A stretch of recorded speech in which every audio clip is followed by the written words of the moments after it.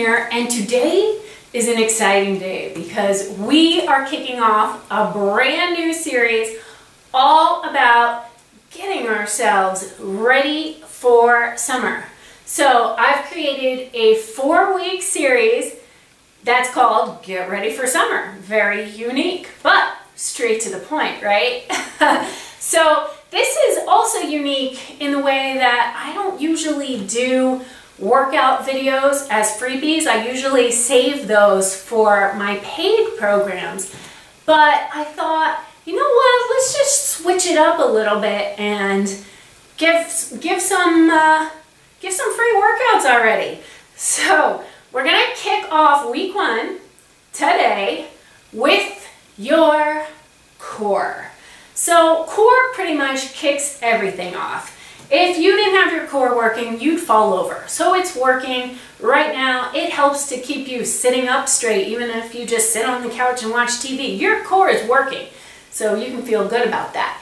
But we're gonna take it to the next level and we're gonna work on mm, tightening up those muscles and perhaps if this is what you want, you have to know your own goal for you, but if you wanna see those muscles, then this is gonna help you get there. Now, like I said, we all have core muscles, but some of us have a little bit of maybe some stuff covering up those core muscles.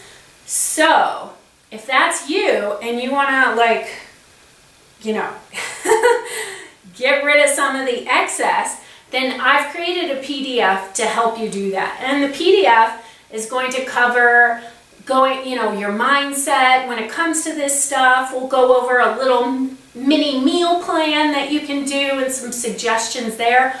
All kinds of things. So if you just want the core workout, then stay here. And if you want to grab the PDF because you want to maybe drop some excess baggage, then you can grab that link right now, right here, and then come back to the core workout. So, all right. All All you need is a mat and your bod. So let's get to it. All right, so let's get into it. We are going to work your entire core. That's your front, your back, all the muscles that support your spine. So we're gonna start with the rectus abdominis, which is basically the muscle that you hit when you do uh, a ton of crunches. And all it does is this motion. So it flexes your front body, pulling you together. It's the muscle that connects the rib cage to your pelvis. So if all you did was crunches all day, every day, you'd end up like this. I don't want that to happen to you, so that's why I'm creating this video. So we'll balance it all out, but we'll start with working out, waking up the rectus abdominis. And we'll make it a little extra fun by adding some lower abs with the legs in tabletop.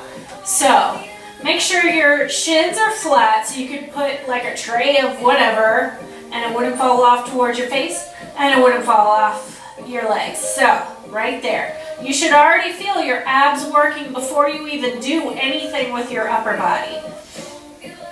All that said, hands behind your head. You're just gonna come up three counts. So it's three, two, one, and then back down. Three, two, one, and down. Three, two, one, and down.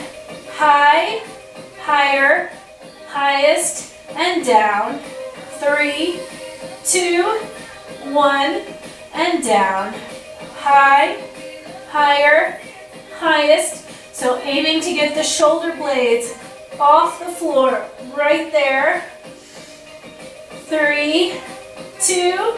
Now we're gonna add a reach. So it goes three, reach, two, hands back, head down, lift up, reach, hands back, head down, lift, reach, Hands back, head down. Lift, reach. Keep the knees over the hips. Lift, reach. Hands back, head down. Lift, reach. Hands back, head down. Two more, lift, reach, hands back, and down. Now regular lift, single counts. Get your shoulder blades up, down, lift up, lift up, and up. Four, three, two, one. Now pulse up, go pulse, pulse, pulse, pulse. Press those knees out. Pulse, pulse, pulse.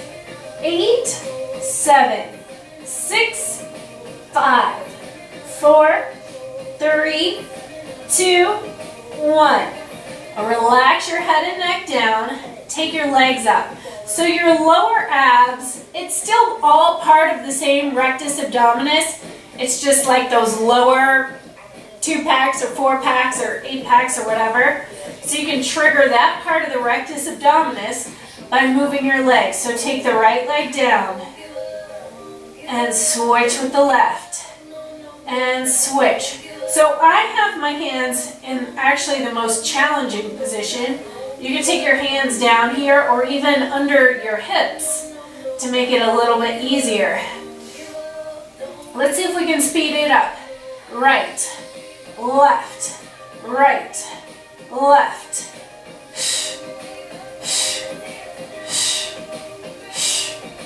Eight, seven, six, five, four. Do I have a poker face? I feel it. Two, one. Now take both legs up. You're gonna flex your feet to bring them down. So four, three, two, one. Bring them up. Four, three, two. Flex them down. Four. And again, you can bring your arms down by your sides or under your hips. Four, three, two. And yes, you are using some back muscles now. Your low back is part of your core. All the muscles along your spine are part of your core. Two more like this. Four, three, two, one. Lift. Four, three, two, one. Now flex your feet, arms out in a T. You're gonna lift your left hip up and take your legs a little bit over to the right. There's the bottom of my feet. And then back through the center. So now we're moving on. We're waking up your obliques. Inhale over to the left. And exhale, center. When you come to the center, make sure your feet are over your hips. It's okay if your knees are bent, but don't let them get more bent as you move through the exercise. Inhale over to the left. And if you can go lower than me, then go lower than me. You basically want to bring your legs over as far as you can without letting that left shoulder pull up off the floor. Inhale, left. It's so nice to have sunshine now. It's been like dark and rainy and cloudy and overcast and foggy for I don't know how long. So a little sunshine is nice shining into this room. I like it. And in one more time over to the right. And exhale center. And over to the left. And exhale center. Point through the feet, bend the knees. Hands behind your head and neck. Lift up, right knee in, left leg out. So lengthening out through the legs. I think I'm like traveling down my mat very, very slowly. so you're gonna take your left armpit towards your right knee. Try to kick yourself in your armpit. And then come center, do a little crunch in the center. So now we're mixing rectus abdominis with the obliques. Left knee into your right armpit and lift. Right and lift. Left and lift. Speed it up. Right, center, lift. Left, center, lift. lift, lift, right, lift, right. Now skip the center, bicycles, right, left, twist. Now see if you can get your shoulder blades off the floor as you move through the center.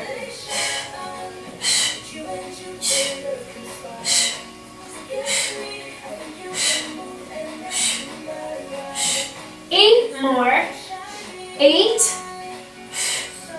seven, six, five, four, ah, three, two, one. little growl there. Hug your knees. Rock it out a little bit side to side. And come out to a nice long spinal elongation. Stretching out, making your body as long as you can.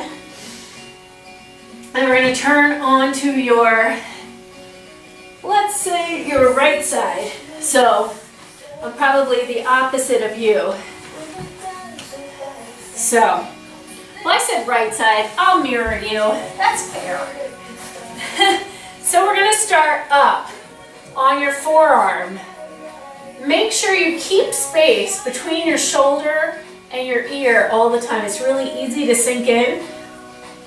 So that's your first priority. Then sink into your right hip. Lift your knees, other hand behind your head. Tap the outside of your knee with your elbow. Now you're going to straighten out that right arm as you lay back.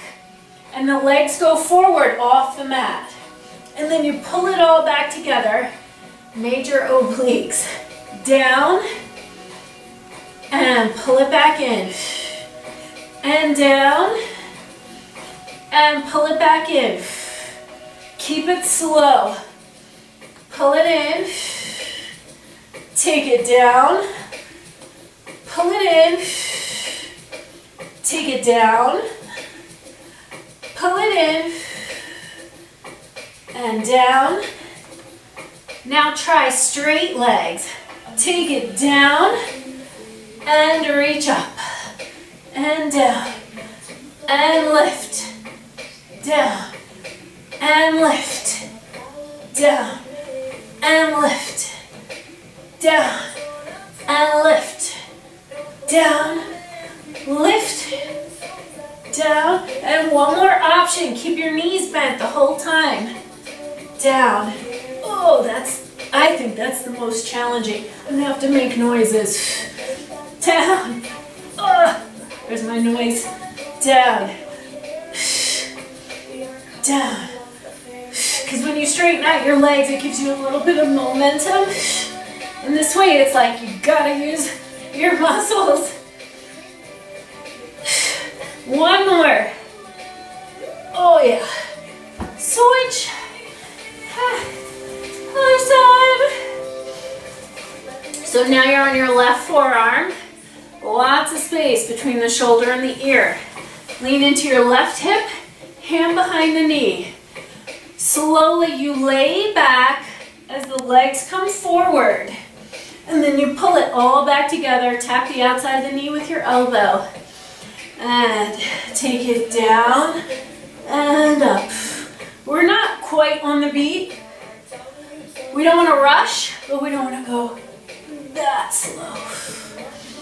Down, lift up, down. Four more, four, down, lift up, three, down, lift up, two, down, lift up, hold it, both legs up, and slowly down, hello, table, and up, and down, and up, down, and up. Lengthen.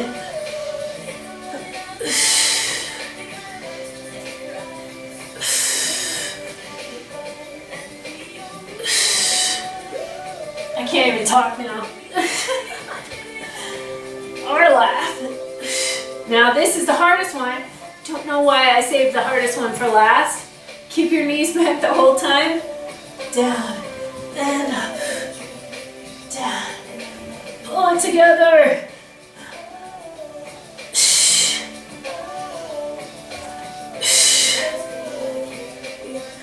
Four, three, two, and one. Oh, I'm gonna switch back over.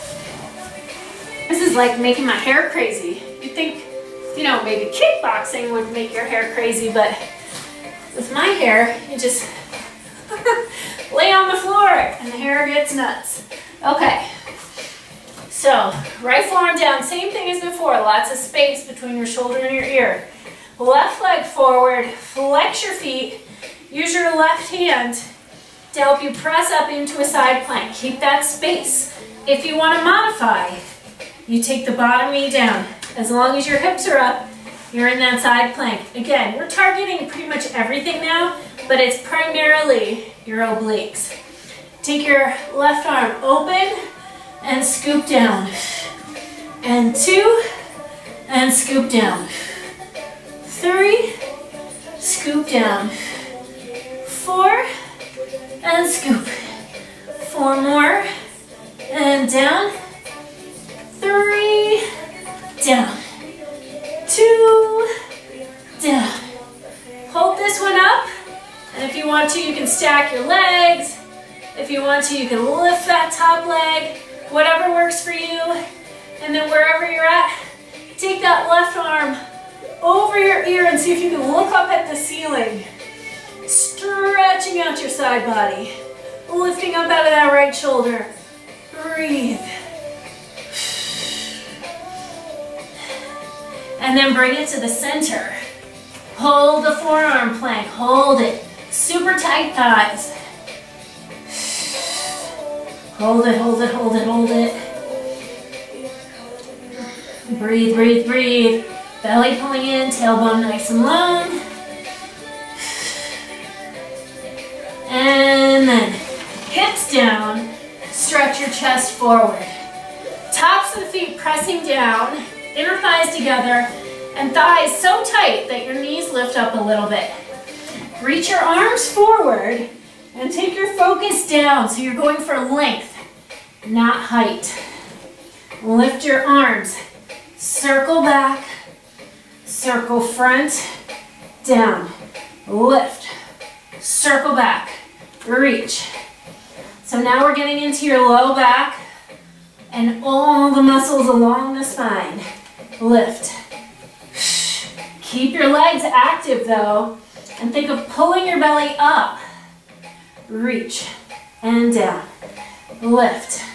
Circle, reach, down, four more, four, reach, three, reach, two, reach, one, now hold the reach, lift your legs, stretch your body, reach to opposite walls, one more deep breath in, and exhale.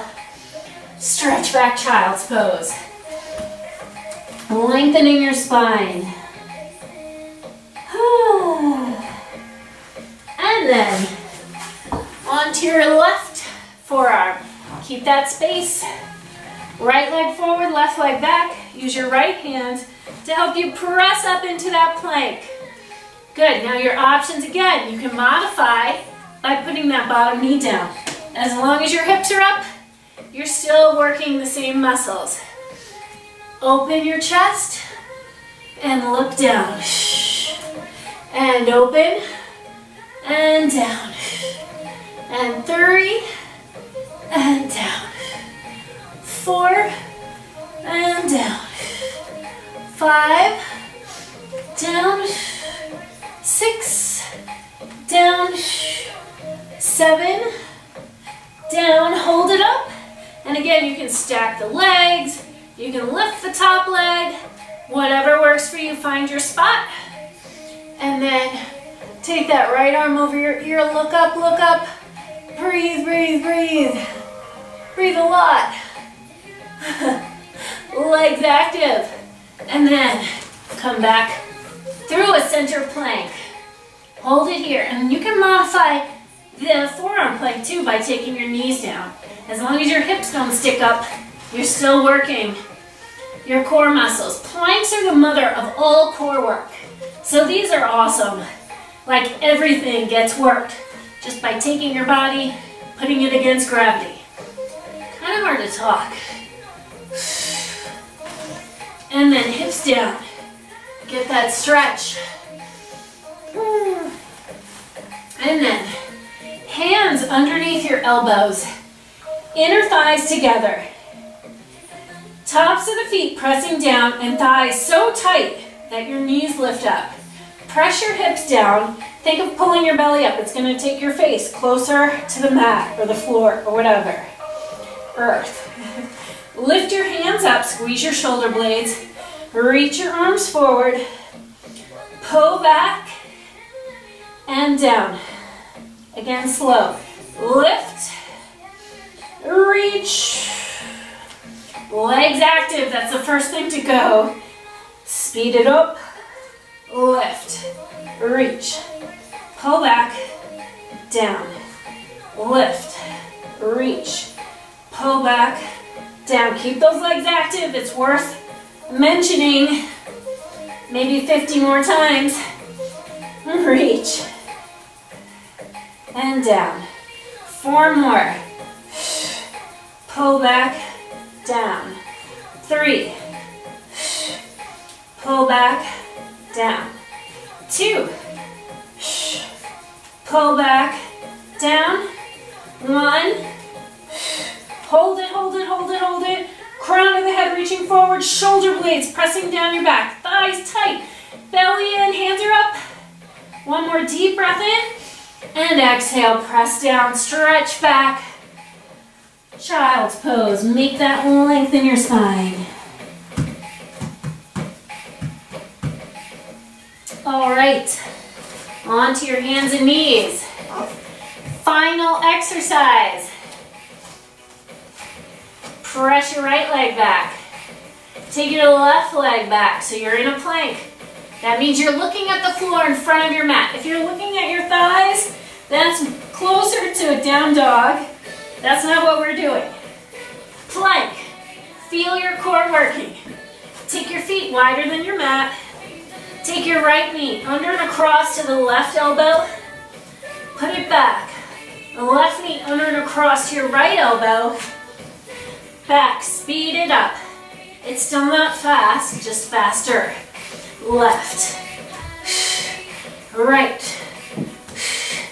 left, right.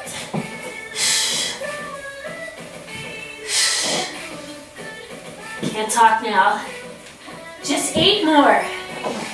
Eight, seven, six, five, four, three, two, one. Hold it here. Hop your legs back in. Hold it, hold it, hold it, hold it. And knees down.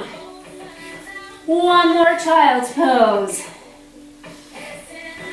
And then you've got a full, well-rounded core workout that little bitty bit amount of time. Make it seem long. Okay, so how often to do this? Pretty much, you can work any muscle group as long as it isn't sore. If it's not sore, that means it's ready to go. So if your abs or your low back are sore tomorrow, then take a day off. Put some magnesium spray on it. There's some I really like from Ease, Ease Magnesium, I think it's called. Um, I'll find the link and put it in the PDF. So you can grab that PDF right here. Um, but if your muscles aren't sore, you can do this over and over and over again. Basically, the way your muscles work are when you work out, they tear. And then you're sore. So when you sleep, they repair, they pull back together. So if you wake up tomorrow and the muscles are repaired, you can do it again. How's that? Just make sure to get a good night's sleep and you're well on your way.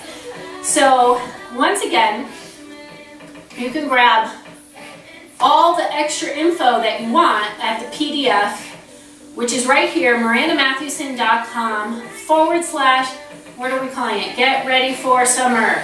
GFRS. Boy, GRFS1.com. It's right there, so you don't have to listen to me. Just go grab it. And I will see you next week for our next installment of Get Ready for Summer. Woohoo! Bye.